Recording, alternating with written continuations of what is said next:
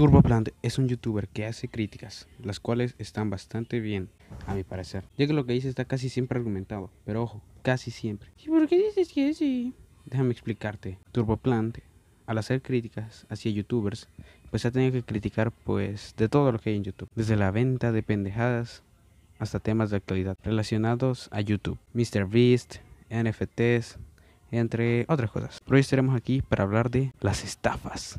Y es que sí, TurboPlant ha hecho videos acerca de estafas hechas por youtubers. Y lo malo aquí no es que hable acerca de estos temas. Lo que está mal es que llama directamente estafas a cosas que pues no necesariamente lo son. Para dejarlo más claro, veamos qué es una estafa. Un delito de estafa consiste en engañar a otro con ánimo de lucro, induciéndolo a realizar un acto a disposición en perjuicio propio o ajeno. La estafa es un delito que consiste en provocar engaño a otra persona a la que se acusa con ánimo de lucro o perjuicio patrimonial. O sea que cuando se estafa a alguien se le hace perder dinero a ese alguien. Que seguramente habrá muchos casos, pero en la gran parte o la gran mayoría de los casos presentados en sus videos pues no lo son. Pongamos un ejemplo. El video que le hizo Dallas. En este video Turboplan llama estafador a Dallas porque le dijo a todos sus suscriptores que una persona random le dio 10 millones de euros en bitcoins. ¿Y por qué Turboplan lo llamó estafador? Te preguntas pues lo llamó así porque él no creía que fuera cierto y que Dallas estaba tratando de atraer audiencia o algo tan con algo tan viral, pero es una estafa. Pues no, ya que con esto no le ha quitado dinero a nadie, ya sea falso o sea real.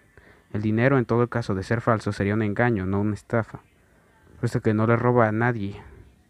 Así que en esto pienso que tuvo mal, actuó mal. Ahora hablaremos del caso de Silver. Silver es un VTuber que se ha vuelto bastante viral últimamente, hecho que él aprovechó para sacar sus NFTs, las cuales son muy polémicas, las cuales al salir todo el dinero fue robado por alguien que trabaja en el proyecto, esto dicho por el propio Silver, hecho al cual Turboplan se agarró para decir que había estafado a sus seguidores y que él se quedó con el dinero, lo cual pues me parece algo estúpido, ya que Silver está en la cima y hacer algo como eso, sabiendo que podría ganar más de otras formas, pues es algo ilógico y el mismo Silver dijo que había localizado al ladrón, por lo cual parece que el dinero será devuelto. Y esto no será una estafa, pero ya veremos cómo se dan las cosas, a ver si Turbo tiene la razón o no. Turbo Plant no creo que esto lo haga con una mala intención, puesto que ha hecho videos mostrando verdaderas estafas, como en el video de Dominguero, el cual promocionó una estafa. Y el video de Turbo estuvo bien, pero debería cambiar